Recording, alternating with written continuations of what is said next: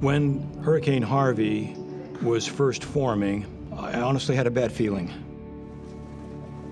And the more we watched it, I could see everything was in place for an enormous storm to, to occur.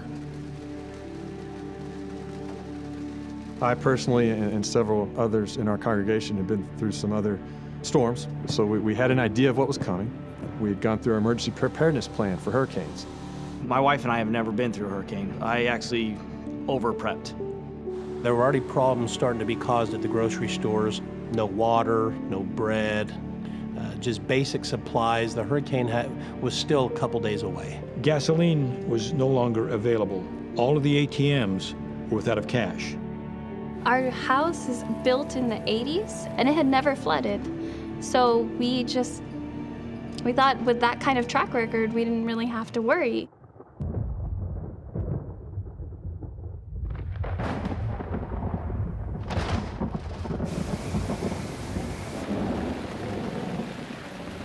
Most of the time when the hurricanes come through, they just blow on through and, and we don't really have that much accumulation. But uh, it took about 24 hours for, I think, the area to really understand and realize that the rain was not going away, it wasn't stopping. Streets became rivers. It was fast. It wasn't something that people can put their children in and, and swim in safety. There were some areas here in the city where the water on the freeways, believe it or not, was 17 or 18 feet deep. I've heard of flash flooding before, but I've never experienced it. And it was, it was very scary. When we saw the water in the street, it was a matter of maybe two hours or Bef- yeah, before, before, it, got in. started getting in the house. I mean, we really didn't have time. After the hurricane hit, 911 was overwhelmed. And it didn't take long for that to happen. I turn on the news and they're saying, anyone who has boat, please help. There was one line for you to call if you had a boat and wanted to volunteer. There was one or two lines to call if you needed help besides 911. And most of the time, no one could get through. I was like, okay, there's got to be a better way. About 7:30 that night, I put on Facebook.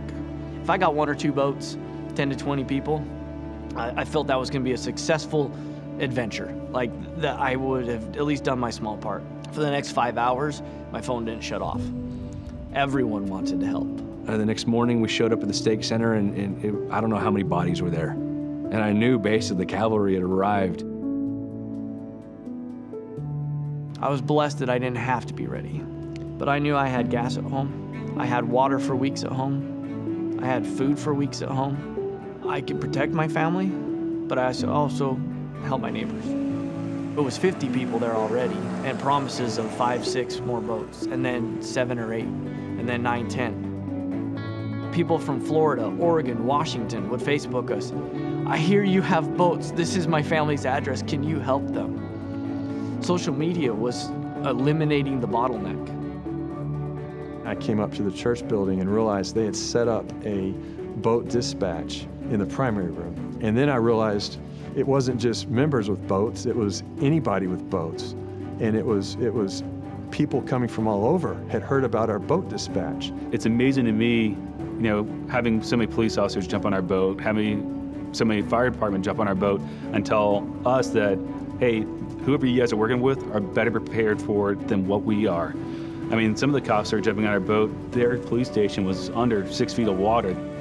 So the second day when we pulled up and we had more boats in mass, and we had a lot more people on water's edge, picking people up out of boats and taking them to the triage. How many more kids are there? Just you? Just know. As they were rescuing people, they were bringing them back to the church, and we were drying them off, giving them clothing, comforting them. The decision was made that we would shelter them overnight. So we brought more food in, and we opened up all the rooms in the building and put them in there by families.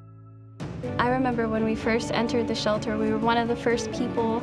Everybody just welcomed us and gave us something warm to eat. That was when we were upstairs only having granola bars between 10 people, it was nice to change Once and water- have something nice to eat and just get out of where we were, that traumatic experience, to the welcome that we got.